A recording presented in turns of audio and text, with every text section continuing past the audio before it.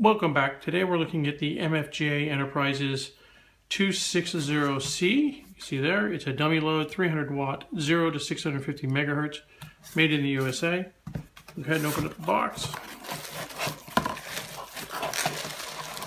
Put that aside for now.